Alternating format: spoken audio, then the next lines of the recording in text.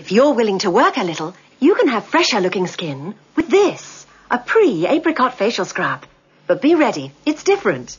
You just add water and rub into a lather. You can actually feel it working, getting rid of that dead skin layer that can clog your pores and cause skin problems. Your face looks fresh, glowing, alive. Aapri apricot facial scrub. Isn't your skin worth it?